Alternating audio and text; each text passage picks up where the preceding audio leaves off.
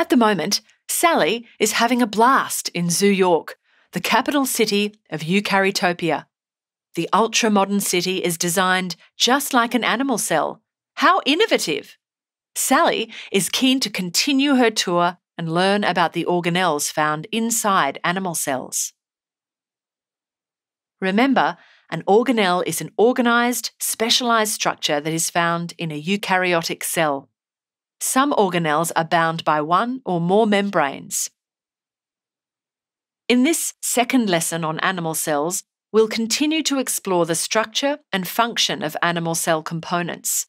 During the HSC biology course, you'll learn that these components cooperate to keep the animal cell alive. In the previous lesson, we covered the protective cell membrane and the nucleus. We also looked at the protoplasm and cytoplasm, which both contain cytosol. If you would like to revise these components, please see our earlier video on animal cells. This lesson will focus on organelles responsible for synthesizing and processing biological molecules, including the endoplasmic reticulum, ribosomes, Golgi apparatus, and lysosomes. In the third lesson, we'll cover animal cell components involved in energy transformations and maintaining cell structure. These include the mitochondria, the cytoskeleton, and the centrosome. Now, there's a lot happening inside each animal cell. It's hard work keeping an entire organism alive. Let's peek inside and study some organelles involved in building and processing biological molecules. The endoplasmic reticulum is an organelle involved in synthesizing, processing, and transporting proteins and lipids. Remember, proteins are made of polypeptides, or long chains of amino acids, while lipids are long hydrocarbon chains, such as fatty acids. The endoplasmic reticulum joins the nuclear membrane that surrounds the nucleus to the cell membrane. It consists of a network of flattened, interconnected membranes, which are referred to as cisternae. The cisternae are composed of one phospholipid bilayer, which is made from two layers of phospholipid molecules. These phospholipid molecules are comprised of a phosphate head and a fatty acid tail. We'll discuss the phospholipid bilayer in our upcoming videos on the cell membrane. Let's return to Sally for a minute. She's catching the subway with her classmates. At the subway station, they tap their phones, which processes their tickets for the exciting ride ahead. The subway tunnels stretch from the city centre to the suburban neighbourhoods. After a while, their journey ends at a bustling station. Here, Sally notices something. The Zoo York City subway, which extends from the city centre to the quiet suburbs, resembles the endoplasmic reticulum, which extends from the nuclear membrane to the cell membrane. Of course, while passengers are processed into and transported by the subway, the endoplasmic reticulum processes proteins and lipids before transporting them to other locations in the animal cell. The endoplasmic reticulum can be rough or smooth, depending on the attachment of ribosomes ribosomes just perform protein synthesis, which we'll discuss later in this video. Now, the rough endoplasmic reticulum has ribosomes attached to its surface. It plays a major role in processing proteins made by the cell.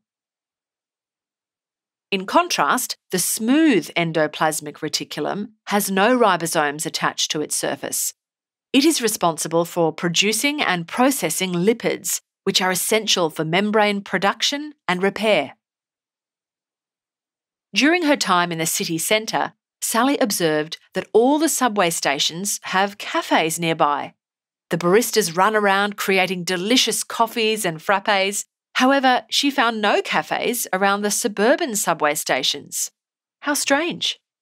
The inner city subway, which is covered with cafes, is just like the rough endoplasmic reticulum which is covered with ribosomes. These ribosomes build proteins, which are essential for an animal cell to function. Meanwhile, the peaceful suburban subway reminds Sally of the smooth endoplasmic reticulum, which lacks ribosomes. As we touched on earlier, a ribosome is a small organelle commonly found on the rough endoplasmic reticulum or in the cytoplasm. Ribosomes perform protein synthesis. This just means that they follow the genetically coded instructions of DNA to make proteins for the cell. Ribosomes are composed of proteins which are made from long chains of amino acids and ribonucleic acid, which consists of a long chain of nucleotide bases. After a busy morning, Sally and her classmates stumble into a nearby cafe. Suddenly, they are caught in a whirlwind of activity. The baristas are running around, making coffee after coffee. After all, the city that never sleeps can't function without caffeine. While a cafe produces coffee to run the city, a ribosome produces proteins to run an animal cell. Proteins made by ribosomes are used to build many important materials and structures, including enzymes. The Golgi apparatus is also found in animal cells. The Golgi apparatus is an organelle that sorts and packs cell products, such as lipids and proteins, so they can be transported within the cell or secreted out of the cell. Each cell product is packaged in a vesicle, which is a small sac enclosed by a membrane. Like the endoplasmic reticulum, the Golgi apparatus forms a network of flattened membranes, or cisternae. However, they are not connected and lack ribosomes.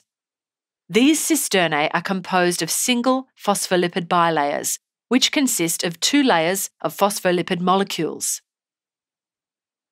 Sally's next destination is the headquarters of a popular food delivery company.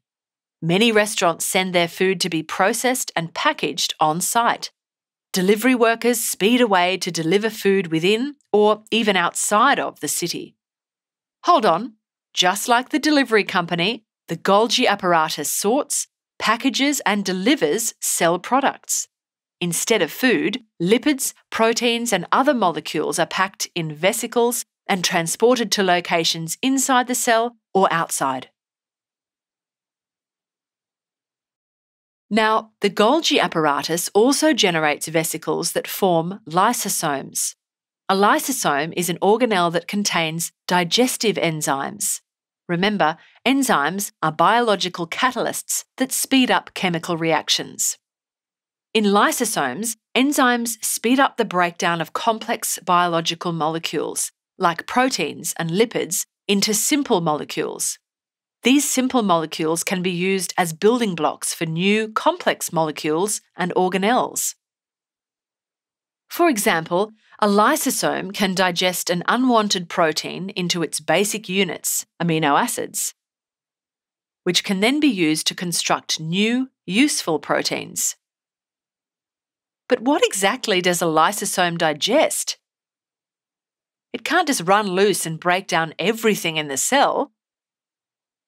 Well, lysosomes specifically degrade waste material and unwanted foreign matter that enters the cell. This includes destroying old and damaged cells from the inside. Next, Sally and her classmates arrive at the Zoo York recycling plant. Here, waste materials, including paper, plastic, and soda cans, are collected from around the city. The recycling plant breaks down these materials and reprocesses them to make brand new products. Actually, lysosomes are like the recycling plant of an animal cell. They break down unwanted biological molecules, like proteins, into simpler molecules that can then be used to synthesize useful materials for the cell. Let's revise what we've covered in this lesson. Firstly, it is important that you remember the components of an animal cell, and secondly, you should know the function of each component.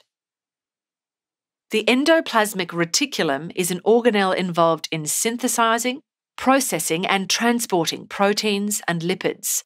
It consists of a phospholipid bilayer that forms a network of flattened, interconnected membranes, or cisternae, that connect the nuclear membrane to the cell membrane.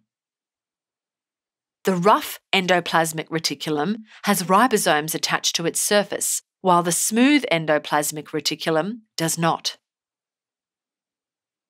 A ribosome consists of proteins and ribonucleic acids and performs protein synthesis. Ribosomes can be found on the rough endoplasmic reticulum or float freely in the cytoplasm.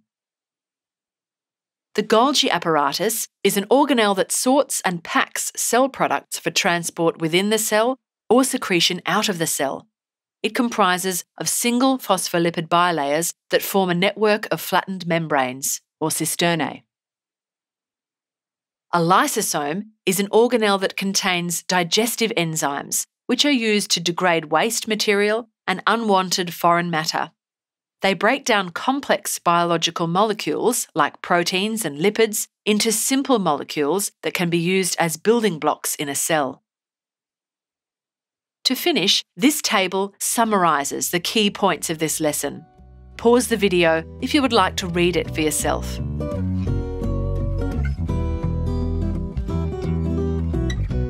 We hope you enjoyed this Schooling Online production. For more easy lessons on biology, check out our third video on animal cells.